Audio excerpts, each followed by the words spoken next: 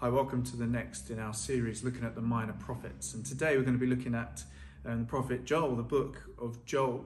Now, it is only three chapters, so perhaps if you haven't had an opportunity to read through beforehand, either as a group or uh, individually, then I just want to encourage you to maybe just pause now and, and have a little quick read through. Just familiarize yourself with the book. Even if you're not fully sure what's going on, it'll just help you maybe when I make references to things um, to know where that's coming from. Now, the book of Joel is actually quite well known amongst many Christians because Peter famously quotes a passage from Joel's prophecy um, on the day of Pentecost in Acts chapter 2 when the Holy Spirit falls upon the apostles, the disciples, and um, in amazing ways. And Peter kind of uses this passage, this prophecy of Joel, and quotes it to the people, in effect saying, Hey guys, what is happening to us right now was prophesied by Joel and is being fulfilled right here in this very moment. But that prophecy of the Holy Spirit that Peter quotes and that Joel wrote all those years before is not all that Joel packs into these three chapters. Now, the main theme of Joel that's quite important for us just to highlight is the theme of repentance. God calling the people of God to repent of their sins. Now, actually, if you're reading any of the minor prophets, and I would suggest the majority of the Bible, then this is a really important theme for us the theme of repentance. This idea of us turning away from our sin, but also turning towards, back towards God. You see, in the Old Testament, and in particular in the minor prophets, this is a key theme because so often the people of God have broken their covenant with Yahweh, with God. And Yahweh says, therefore, that there will be consequences.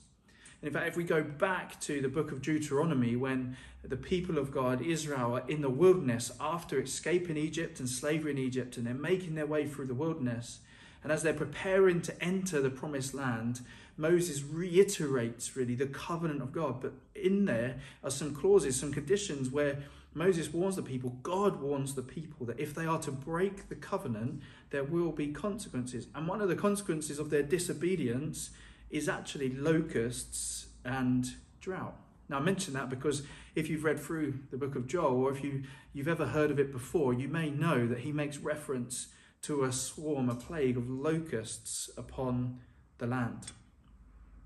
But even though the people of God have sinned and have turned from God, have broken the covenant, all is not lost. There is hope for the future. And this is what Joel speaks into. He says, If the people re- re- repent, then God will restore them and promises them an even better future than their perhaps what they consider glorious past. Jesus himself picks up on the theme of repentance. And this is where we begin to see this theme threaded throughout the whole of the Bible and its importance and relevance for us too. For when Jesus came and preached the kingdom of God, he would say, Repent, for the kingdom of heaven has come near. Follow me. But back to Joel.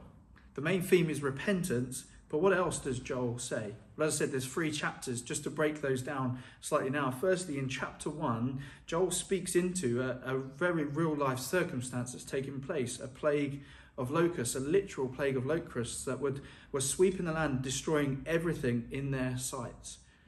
And Joel uses this plague, this swarm of locusts, to say, hey, these, these locusts are attacking our land, eating our stuff, and therefore there's obviously a need for us to nationally repent and pray because of the severity of the plague. Then into chapter 2, Joel kind of takes this metaphor of the locust as a plague sweeping across the land and he applies it to a greater army, a greater swarm that was to come, pointing towards an army. Now, there's different um, kind of interpretations of what this army might be. Is it the army of the Lord at the final judgment, or um, is it an, a physical army? And I think most commentators would agree that it's pointing to the Babylonian army. See, Joel is writing into Judah, the southern kingdom. The northern kingdom has already been broken up and many of them taken into exile. But the southern kingdom is still there, but is about to be invaded by the Babylonian army who will take them into exile as well. And so Joel prophesies into that and calls the people, as a result of the very real plague they can see of locusts and the impending kind of doom of this army, of this empire about to invade. And Joel says the only response that we can make is to repent. And then at the end of chapter 2, there's this third scene of from verse 18 onwards where um, we hear a little bit of God's response, where God promises restoration and where he promises the new age of the Spirit, when the Holy Spirit will come following that repentance. You see, one of the things we find in Scripture is that so often revival follows repentance. See, many of us in the Christian world, if you've been around church for really any time at all, you might have heard this word revival. It's this sense of God moving in power and impacting people's lives and doing amazing things with them through the work of the Holy Spirit, people being healed, restored, all of these amazing things. But actually, if we see in Scripture, so often revival does not just happen in a vacuum, but revival follows repentance.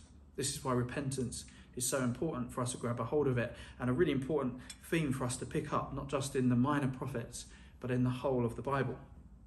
Then, moving on to chapter 3, we read of judgment upon the nations, this great big battle where God ultimately will be victorious and God will bless his people, especially um, and particularly those who have repented.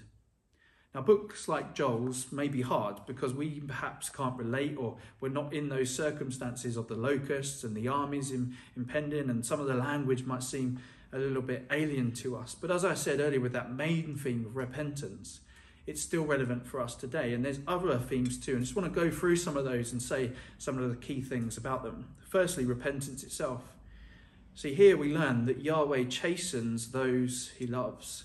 Fact, the New Testament writers pick up on this and talk about Jesus and, and God disciplining the ones that they love. God calls us to repent, not because he wants us just to be good and perfect children, but because he wants what is best for us. And that can only happen if we turn from our bad, evil ways and we turn back to God and pursue his ways. The second theme, just to pick up on in Joel's um, prophecy, is that of judgment. See, judgment can seem very harsh, and particularly when we read Old Testament books, you could, if you if you kind of are not careful, get this picture of quite a harsh God who judges and, and does horrible things in response to people's horrible things. But actually, if we look at some of the sins of the nations that are mentioned in Joel, God's judgment seems to make a whole lot more sense. For example, in Joel chapter 3, verse 3, it reads, They cast lots for my people and traded boys for prostitutes. They sold girls for wine to drink. When we consider those sins of the people, and we look at the evil in the world around us, and we consider the brokenness of humanity that we see so often in the news, but also perhaps in the lives of those not too far from us, I believe the idea that God will judge this world can actually bring comfort. This idea that God sees all of the wickedness and the evil in this world, and He is not just going to let it happen and people go without facing the consequences of their actions. It may seem overwhelming to us, this wickedness and this evil, but we're told that God will deal with it. But He can also, we are promised in the New Testament, deal with our evil and our sin if we repent and allow the blood of Jesus, His death on the cross, to cover our sins and to heal us so that we'll be on the right side of judgment when it comes. Next, revival, the promise of the Holy Spirit. This is the key theme um, within the book of Joel, chapter 2, verse 28 to 29. And it shall come to pass afterwards that I will pour out my spirit on all flesh. Your sons and your daughters shall prophesy. Your old men shall dream dreams. Your young men shall see visions. Even on the male and female servants, in those days I will pour out my spirit. Here, Joel promises the Holy Spirit, a promise that we see fulfilled in the book of Acts and continuing to be fulfilled right here today in our lives and in the life of the church. The prophecy of Joel has been realized and is available to us today. We can call on the name of the Lord and be saved, and when we do, we're told that we can receive the Holy Spirit and we can walk forward um, with Him the rest of our days. And then the last theme, just to pick up on, is this theme of restoration. Joel chapter 2, verse 25 says this amazing verse. When you consider chapter 1 and, and, the beginning of chapter 2 and what's happened of this swarm of locusts going through the land and eating every crop before them, and then this army coming and, and destroying and taking the people away. In chapter 2, verse 25, God says, I will repay for the years the locusts have eaten. And God goes on to say both the little locusts and the great ones, both the, the very real locusts, but also the army, the people that will come and destroy you. What a promise this is to the land of Judah. Judah, who have sinned to such an extent, broken their covenant with God to such an extent that He's removed His blessing from them and they're now vulnerable to attack. That even though they broke the covenant, that God says, I will restore you. I will restore and repay the years that you have lost.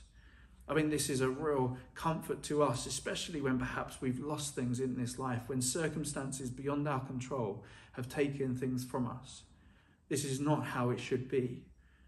And the Bible promises us that Jesus will return and restore things not just to how they could be, but how they should be, how they were designed to be, and so much more. For those of us who repent and follow Jesus, this promise continues to ring true that Jesus will restore to us all that we've lost, will restore to us all of those years that we've perhaps lost to hardship and to struggles in this life or the next. And so we can trust Him. So there are those four themes repentance, judgment, revival, and restoration. And we've had that, that big overview of Joel, looking at the key theme being repentance, the key passage being Joel chapter 2, verse 28 to 29. Now, in your groups, there's some questions based on those four themes of repentance, judgment, revival, and restoration. And I hope that you find it really helpful. I hope that's helped give you a good picture of the book of Joel and that you enjoy discussing that together. God bless.